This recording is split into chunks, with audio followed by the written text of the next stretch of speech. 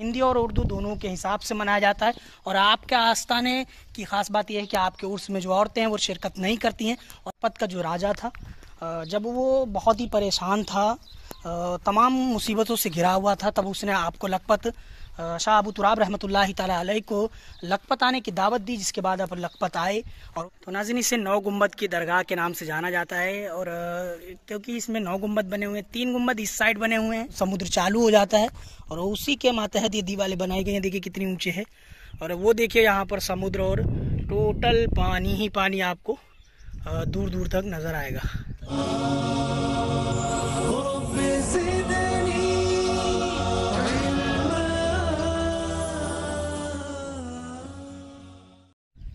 अल्लाम नाजरीन, आप हैं हमारे channel story of Ali Allah पर। तो नाजरीन, इस वक्त हम गुजरात के कच्छ के लखपत में हैं और आपको बता दें कि यहीं पर हमने गौस मोहम्मद रहमत ताली की ज़्यारत करी है और आपके आस्थाने से थोड़ी दूर पर नौ गुम्बदों वाली दरगाह है जो कि हज़रत शाह अबू तुराब रहमत और इन मुकम्मल ज़्यारत करवाएँगे और जो भी जानकारी हासिल होती है, वो मैं आपको इन दूँगा।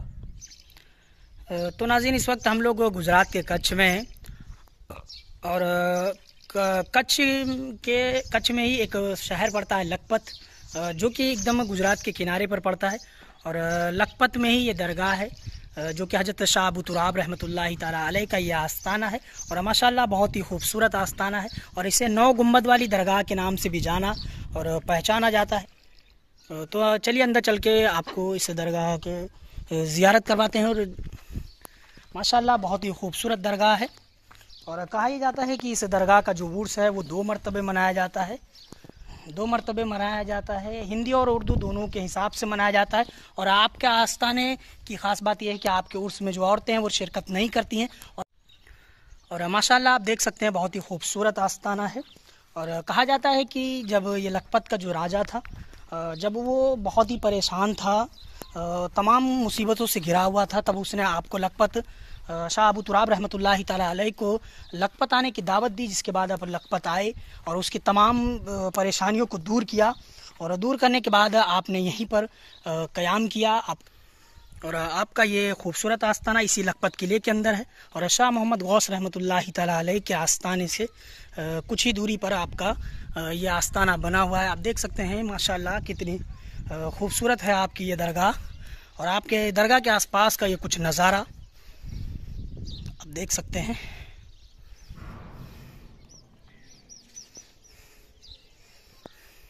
चाहते हैं तो आपको बता दें कि लखपत आने के लिए यहाँ ट्रांसपोर्टेशन सिस्टम जो है वो ठीक नहीं है तो आप पर्सनल गाड़ी करके ही लखपत आ सकते हैं। और अगर आप गाड़ी करते हैं तो आप लखपत और हाजी पीर जो यहाँ की मशहूर दरगाहें हैं उनके लिए पूरी एक गाड़ी करें। हमने जो गाड़ी करी थी तो उस गाड़ी ड्राइवर का मैं नाम एक स्क्रीन पर दे दूँगा। उसने मुझसे मुनासिब पैसे लिए हैं और तैंतीस सौ रुपये में वो यहाँ तक आए हैं।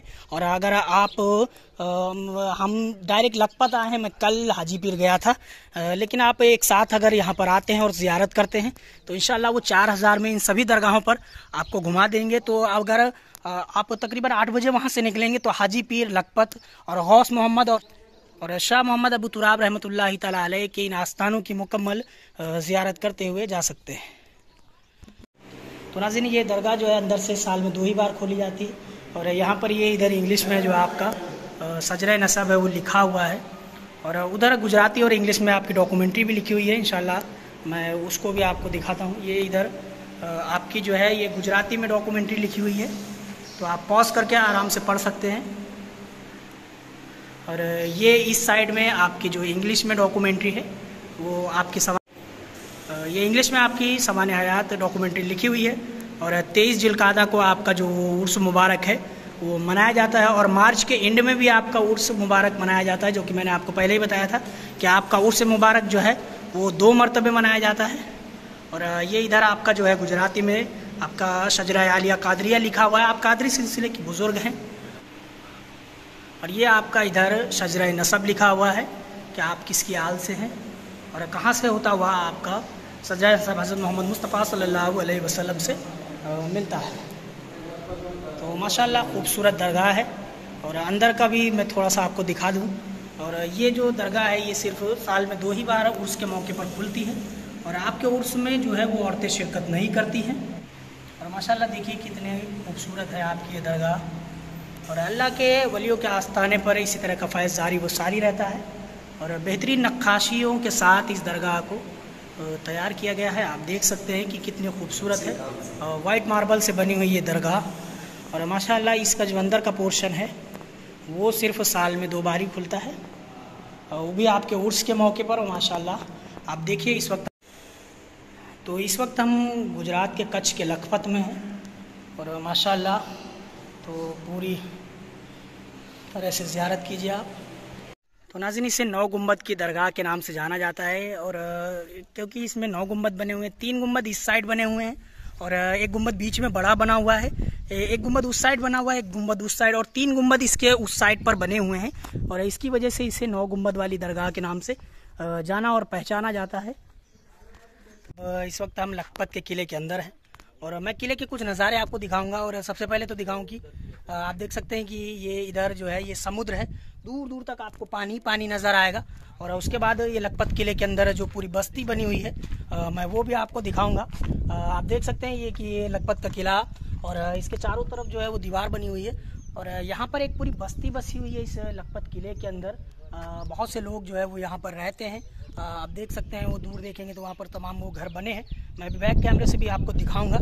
काफ़ी पुरानी इमारत है और ये जो आप देख सकते हैं, ये पत्थरों के साथ ये दीवार बनी और इस तरह चारों तरफ़ इसको किलेबंदी के साथ और इस तरह इसको चारों तरफ़ किलेबंदी के साथ इसको बनाया गया और इसके अंदर पूरी बस्ती एक बसी हुई है। आप देख सकते हैं, ये पूरे घर घर बने हुए हैं और इस तरफ़ जो है वो समुद्र है और पूरा आपको पानी पानी नज़र आएगा और ये किले के ऊपर हैं इस वक्त हम लोग। और आप देख सकते हैं, ये इस साइड जो है, ये पीछे यहाँ से बिल्कुल समुद्र चालू हो जाता है और उसी के मातहत ये दीवारें बनाई गई हैं। देखिए कितनी ऊँचे है। और वो देखिए यहाँ पर समुद्र और टोटल पानी ही पानी आपको दूर दूर तक नज़र आएगा। और ये पूरा सब दरिया का ये कुछ नज़ारा और ख़ूबसूरत नज़ारा है, इस वक्त आप लुत्फ़ उठा रहे हैं। इस वक्त हम जो है गुजरात के कच्छ के लखपत में हैं और लखपत भुज से तकरीबन 140 किलोमीटर की दूरी पर है। और ये लखपत किला है जहाँ पर हम हैं और यहाँ पर अल्लाह के दो कई वली यहाँ पर आराम फरमा है, जिसमें गौस मोहम्मद रहमतुल्लाह तला का आस्थाना जिस पर हमने अभी वो की।